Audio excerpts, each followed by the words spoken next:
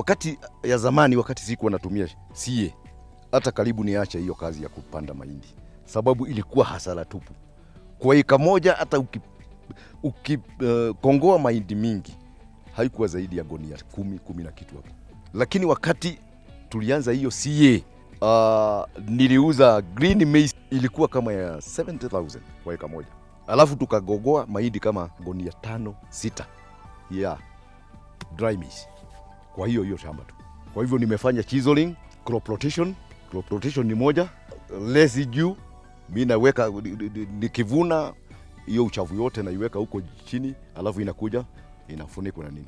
Tulienda kusoma kutengeneza organic fertilizer, nikasoma ati biogas inaweza niletea organic fertilizer by itself, so I decided kutumia hii option ya biogas ndio hata kulima kwangu iwe rahisi na organic fertilizer kutoka kwa biogas.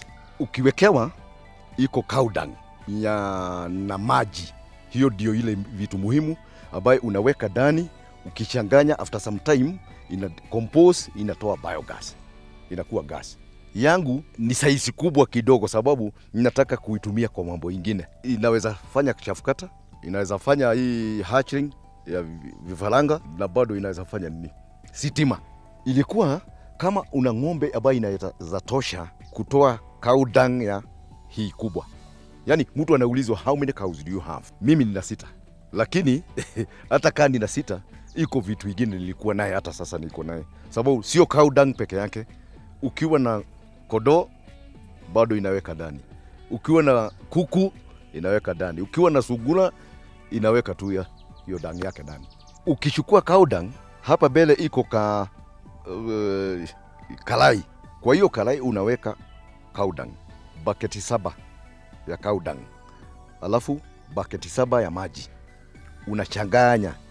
Ukichanganya unatoa ile uchafu ambaye haijaiva kabisa ya, kama majani majani unaitoa, unaiachi iko pahali unafungulia, inaigi inajiigiza ndani.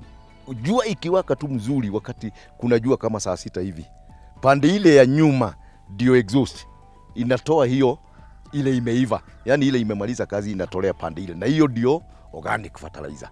Kitoa pande ya nyuma ndio organic fertilizer. I have trained about 100 farmers, wale wengi wameadapt this or this.